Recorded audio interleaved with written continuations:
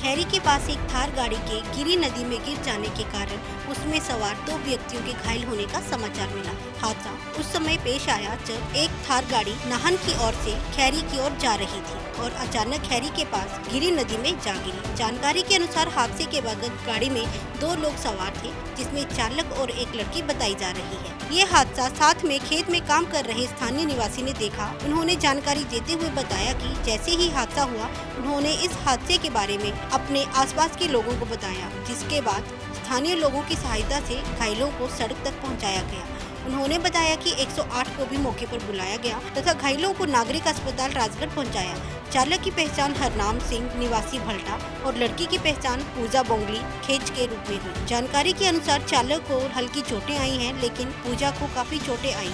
इसलिए प्राथमिक उपचार के बाद पूजा को सोलन रेफर कर दिया गया। वहीं चालक हरनाम का उपचार सिविल हॉस्पिटल राजगढ़ में ही चल रहा है।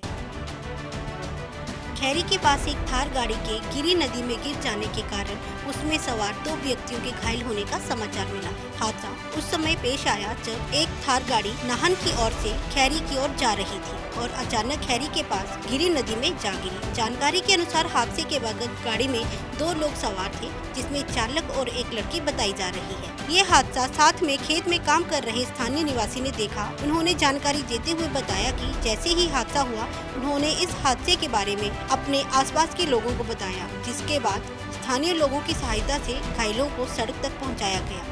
उन्होंने बताया कि 108 को भी मौके पर बुलाया गया तथा घायलों को नागरिक अस्पताल राजगढ़ पहुँचाया। चालक की पहचान हरनाम सिंह, निवासी भल्टा और लड़की की पहचान पूजा बोंगली खेच के रूप में हुई। जानकारी के अनुसार चालक को हल्की चोटें आई हैं, लेकिन पूजा को काफ़ी चोटें आई। इसलिए प्राथमिक उपचार के बाद पूजा को सोलन रेफर कर दिया गया। वहीं चालक हरनाम का उपचार सिविल हॉस्पिटल राजगढ़ में ही चल रहा है। खैरी के पास एक थार गाड़ी के गिरी नदी में गिर जाने के कारण उसमें सवार दो व्यक्तियों के घायल होने का समाचार मिला। हादसा उस समय पेश आया जब एक थार गाड़ी नाहन की ओर से खैरी की ओर जा रही थी और अचानक खैरी के पास गिरी नदी में जा गिरी। जानकारी के अनुसार हादसे के वक्त गाड़ी में दो लोग सवार थे, जिसमें चालक और एक लड़की बताई जा रही है। ये हादसा साथ में खेत में काम कर रहे स्थानीय निवासी ने देखा। उन्होंने जानकारी देते हुए बताया कि जैसे ही हादसा हुआ, उन्होंने इस हादसे के बारे में अपने आसपास के लोगों को बताया, जिसके बाद स्थानीय लोगों की सहायता से घायलों को सड़क तक पहुँचाया गया। उन्होंने बताया कि 108 को भी मौके पर बुलाया गया तथा घायलों को नागरिक अस्पताल राजगढ़ पहुँचाया। चालक की पहचान हरनाम सिंह, निवासी भल्टा और लड़की की पहचान पूजा बोंगली खेच के रूप में हुई। जानकारी के अनुसार चालक को हल्की चोटें आई हैं, लेकिन पूजा को काफ़ी चोटें आई। इसलिए प्राथमिक उपचार के बाद पूजा को सोलन रेफर कर दिया गया। वहीं चालक हरनाम का उपचार सिविल हॉस्पिटल राजगढ़ में ही चल रहा है। सिरमौर से कपिल शर्मा की report A news Himachal.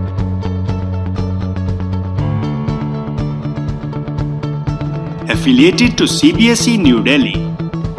It endeavors to fasten and develop in children the habit to think clearly and independently and the capacity to express themselves effectively. Come with me where dreams are born and time is never planned.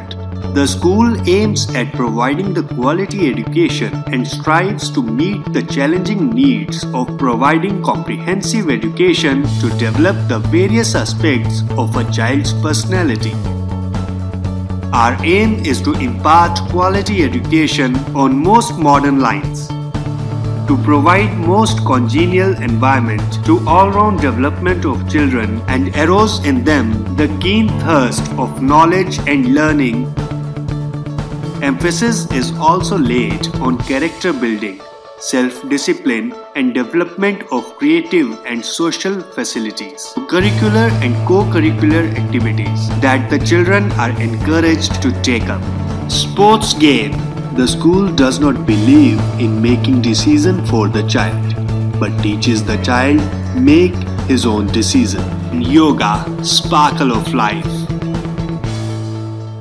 Greenland public school Kandrori road Surajpur near Dabdal tehsil Indora district Kangra Himachal Pradesh कहीं सुना है retail की दुकान पर wholesale का दाम? जी हाँ नव्या लेकर आया है डिज़ाइनर सूट्स, कुर्तीज और फैब्रिक्स सबसे सस्ता सबसे अच्छा defence road Mamun Pathankot. Contact nine six one four one nine six one four one